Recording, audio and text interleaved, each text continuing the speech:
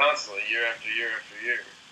Wow. But that's a tremendously simpler thing than building a thinking machine.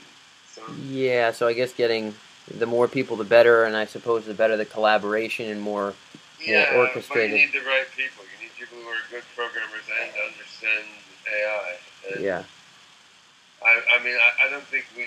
That's, you don't want 500 people on a project like this. It would just be chaos and then confusion. But the point is, it's it's a large project, and one of the issues in the AI field is most work is done in universities by graduate students. So you have the idea that you know one, two, or three PhD students working with a professor is going to be able to make profound progress on the AI problem. But I mean, wait a minute. Then then why does it take hundred people to build and update Microsoft Word, right? Yeah, yeah.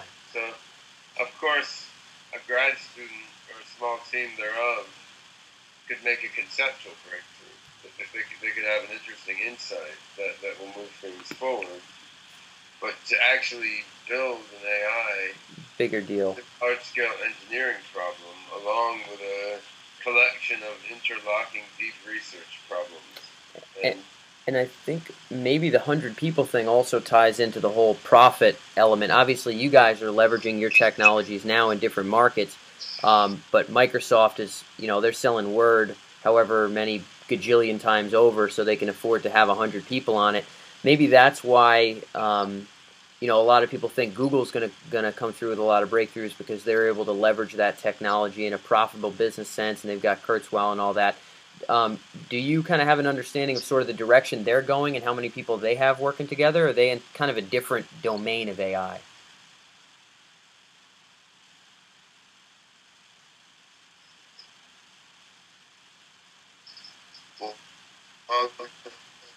Oh, hold up! You broke up a little bit there, uh, there, Ben. Give me a second here then you're more likely to solve the problem that you're working on rather than something else, right? So that's it. Oh, hold up! I think you just uh, it just got a little bit sketchy in between there. Can you still hear me all right? Can Can you hear me okay now? Yeah, I can hear you decent now. Yep. Okay. I think it's when the camera moves around a lot. Skype gets all uh, all discombobulated. Silly old Skype.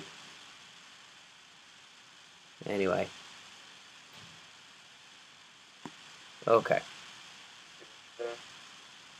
Yep, a little bit. Hold on. I think it's got a